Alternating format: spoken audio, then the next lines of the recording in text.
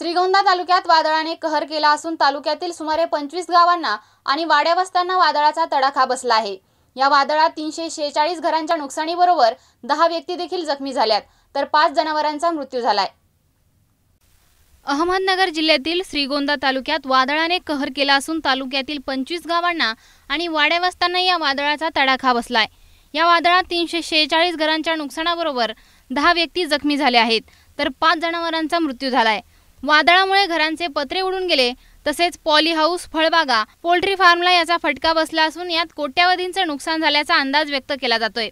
आमदार राहुल जगताप यांनी तालुका कृषी अधिकारी व्ही. बी. दारकुंडे तसेच महसूल विभाग पंचायत समितीच्या अधिकाऱ्यांसमेत नुकसानग्रस्त भागाची पाहणी करून शेतकऱ्यांना तातडीने शासकीय मदत मिळावी या संदर्भात अधिकाऱ्यांना सूचना केल्यात. श्रीगोंदा तालुक्यात आढळगाव काष्टी चांडगाव आणि गारसह पंचवीस वाड्या वस्त्यांना वादळाचा फटका बसलाय.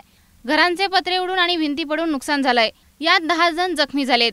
तर दोन गायी दोन शेळ्या आणि एक रेडकूट हार झालाय.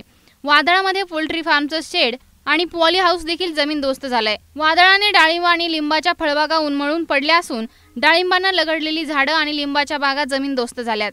नुकसानग्रस्त भागांचा पंचनामा सुरू असून करोडो रुपयांचा चक्काचूर झाल्याची शक्यता आहे. सोमवारी झालेल्या जोरदार वादळी पावसामुळे चिखलठाणवाडी कंसेवाडी मुंढेकरवाडी बाबरवाडी घोटवी लिंपणगाव आणि चोराचीवाडी येथील शेतकरी अनुक्रमे युवराज चिखलठाणे गौरी मैंद पांडुरंग लखे अंकुश बाबर विष्णू निंभोरे विजया बडवे बाळासाहेब लाळगे आणि चंद्रकांत वाजे यांचं पॉलीहाऊस शेड उडाल्याने मोठं नुकसान झालंय.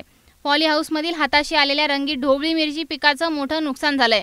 श्रीगोंद्याचे तालुका कृषी अधिकारी यांनी- यांनी या पॉली हाऊसची पाहणी करून शेतकऱ्यांच्या भेटी घेतल्यात.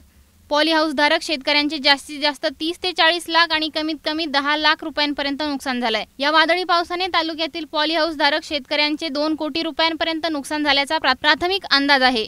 काष्टीत ऐंशी गारला चाळीस सांगवीला पस्तीस चांडगावला साठ आणि मुं आणि मुंढेकरवाडीमध्ये वीस घरांचं नुकसान झालंय.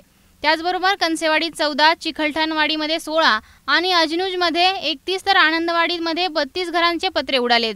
घरांचे पत्रे उडाल्याने अनेकांचे संसार रस्त्यावर आले आहेत.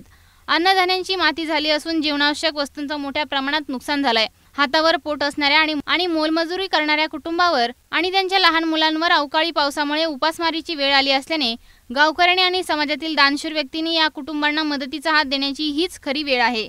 प्रतिनिधी सुजित गायकवाड ब्युरो रिपोर्ट श्रीगोंदा.